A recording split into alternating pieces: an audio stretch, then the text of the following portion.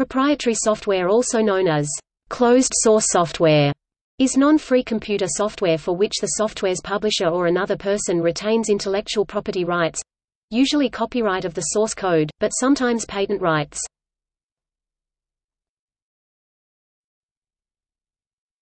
Topic: Software starts.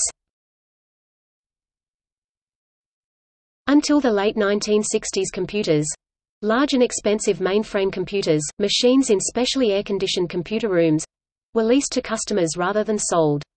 Service and all software available were usually supplied by manufacturers without separate charge until 1969. Computer vendors usually provided the source code for installed software to customers. Customers who developed software often made it available to others without charge. Closed source means computer programs whose source code is not published. It is available to be edited only by the organization by which it is developed. In 1969, IBM, which had antitrust lawsuits pending against it, led an industry change by starting to charge separately for mainframe software and services, by unbundling hardware and software. Bill Gates' open letter to hobbyists in 1976 decried computer hobbyists' rampant copyright infringement of software, particularly Microsoft's Altair Basic Interpreter, and reminded his audience that their theft from programmers hindered his ability to produce quality software. According to Brewster Kahle, the legal characteristic of software changed also due to the U.S. Copyright Act of 1976. Starting in February 1983, IBM adopted an object code only model for a growing list of their software and stopped shipping source code. In 1983, binary software became also copyrightable in the United States by the Apple vs. Franklin law decision, before which only source code was copyrightable. Additionally, the growing availability of millions of computers based on the same microprocessor architecture created for the first time an unfragmented and big enough market for binary distributed software. Landley, greater than Topic: Legal basis. Most software is covered by copyright which, along with contract law, patents, and trade secrets, provides legal basis for its owner to establish exclusive rights. A software vendor delineates the specific terms of use in an end-user license agreement The user may agree to this contract in writing, interactively on screen or by opening the box containing the software shrink wrap licensing. License agreements are usually not negotiable. Software patents grant exclusive rights to algorithms, software features, or other patentable subject matter, with coverage varying by jurisdiction. Vendors sometimes grant patent rights to the user in the license agreement. The source code for a piece of software is routinely handled as a trade secret. Occasionally, software is made available with fewer restrictions on licensing or source code access. Such software is known as free or open source. Topic: Limitations. Because license agreements do not override applicable copyright law or contract law, provisions in conflict with applicable law are not enforceable. Some software is specifically licensed and not sold, in order to avoid limitations of copyright such as the first sale doctrine.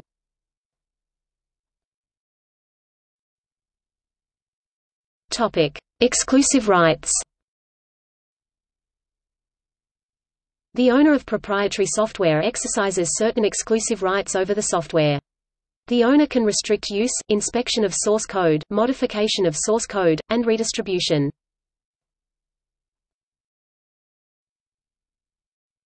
Topic: Use of the software.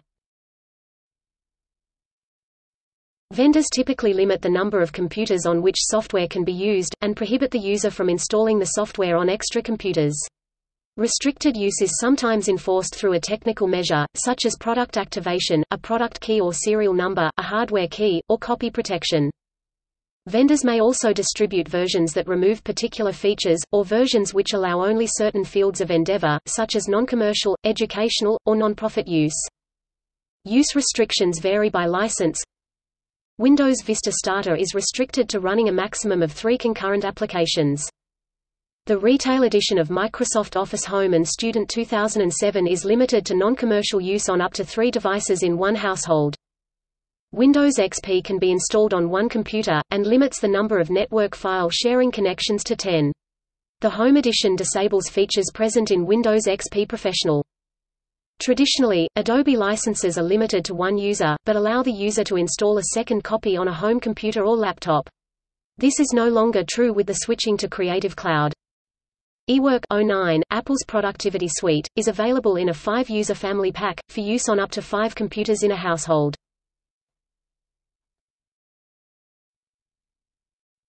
Topic. Inspection and modification of source code Vendors typically distribute proprietary software in compiled form, usually the machine language understood by the computer's central processing unit.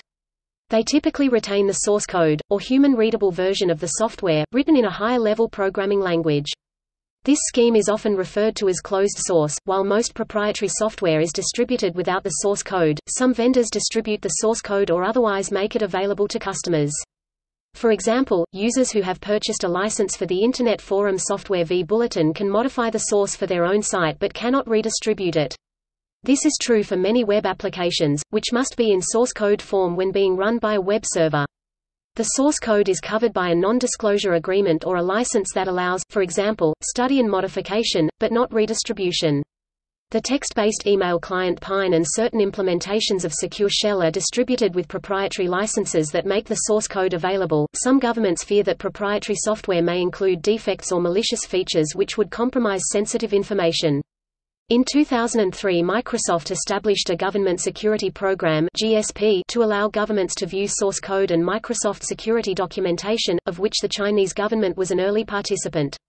The program is part of Microsoft's broader shared source initiative which provides source code access for some products. The Reference Source License and Limited Public License are proprietary software licenses where the source code is made available. Governments have also been accused of adding such malware to software themselves. According to documents released by Edward Snowden, the NSA has used covert partnerships with software companies to make commercial encryption software exploitable to eavesdropping, or to insert backdoors. Software vendors sometimes use obfuscated code to impede users who would reverse engineer the software. This is particularly common with certain programming languages. For example, the bytecode for programs written in Java can be easily decompiled to somewhat usable code, and the source code for programs written in scripting languages such as PHP or JavaScript is available at runtime.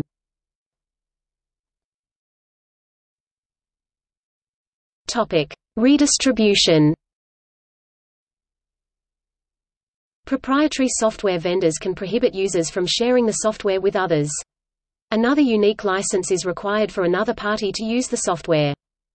In the case of proprietary software with source code available, the vendor may also prohibit customers from distributing their modifications to the source code. Shareware is closed-source software whose owner encourages redistribution at no cost, but which the user sometimes must pay to use after a trial period. The fee usually allows use by a single user or computer. In some cases, software features are restricted during or after the trial period, a practice sometimes called crippleware.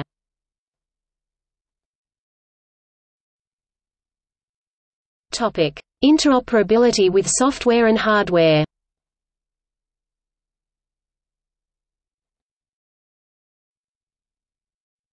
Topic: Proprietary file formats and protocols.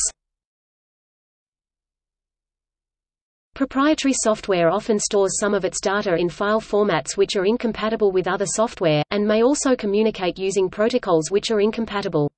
Such formats and protocols may be restricted as trade secrets or subject to patents.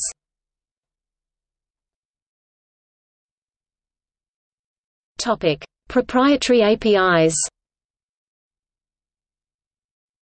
A proprietary application programming interface (API) is a software library interface specific to one device or, more likely to a number of devices within a particular manufacturer's product range.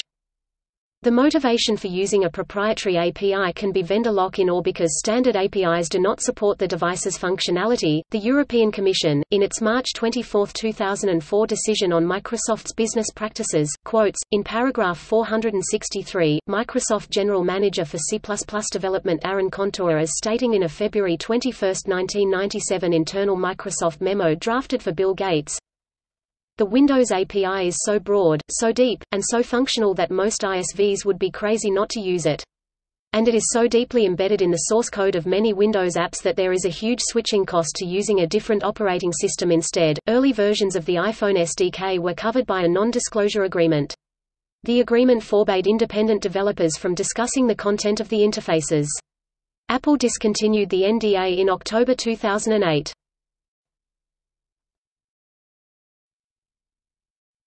Topic: Vendor lock-in. A dependency on the future versions and upgrades for a proprietary software package can create vendor lock-in, entrenching a monopoly position.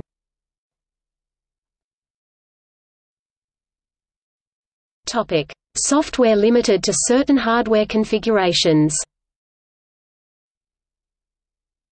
Proprietary software may also have licensing terms that limit the usage of that software to a specific set of hardware. Apple has such a licensing model for Mac OS X, an operating system which is limited to Apple hardware, both by licensing and various design decisions. This licensing model has been affirmed by the United States Court of Appeals.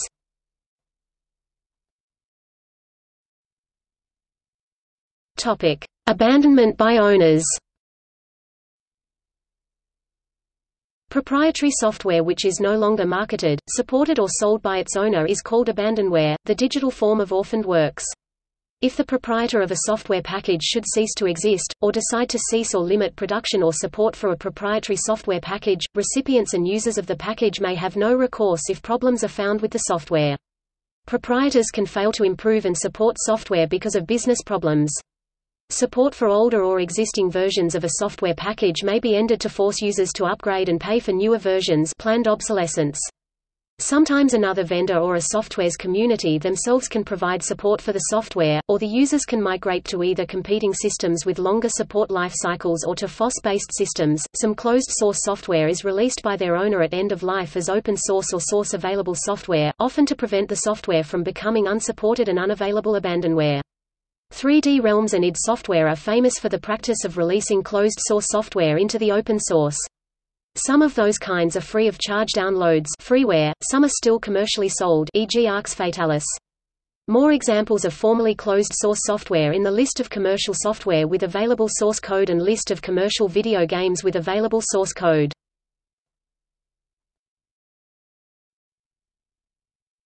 Topic: Formally open source software. Some formerly open-source software was made proprietary later. Sometimes for commercialization reasons, sometimes as security or anti-cheat measurement security through obscurity. A famous example of such is the Doom source port ZDaemon which was prone to aimbot cheaters.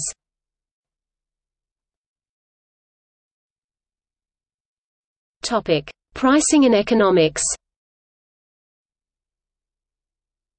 Proprietary software is not synonymous with commercial software, although the two terms are sometimes used synonymously in articles about free software. Proprietary software can be distributed at no cost or for a fee, and free software can be distributed at no cost or for a fee. The difference is that whether or not proprietary software can be distributed, and what the fee would be, is at the proprietor's discretion. With free software, anyone who has a copy can decide whether, and how much, to charge for a copy or related services. Proprietary software that comes for no cost is called freeware. Proponents of commercial proprietary software argue that requiring users to pay for software as a product increases funding or time available for the research and development of software. For example, Microsoft says that per-copy fees maximize the profitability of software development. Proprietary software generally creates greater commercial activity over free software, especially in regard to market revenues.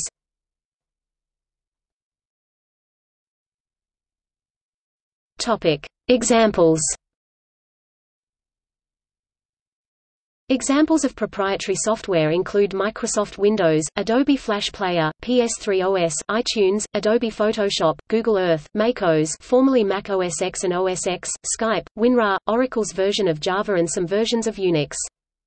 Software distributions considered as proprietary may in fact incorporate a mixed source model including both free and non-free software in the same distribution.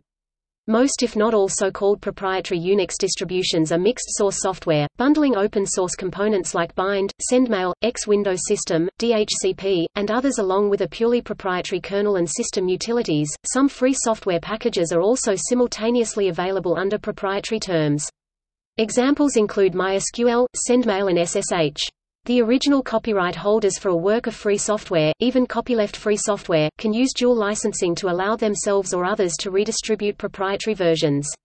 Non-copyleft-free software i.e. software distributed under a permissive free software license or released to the public domain allows anyone to make proprietary redistributions. Free software that depends on proprietary software is considered trapped by the Free Software Foundation.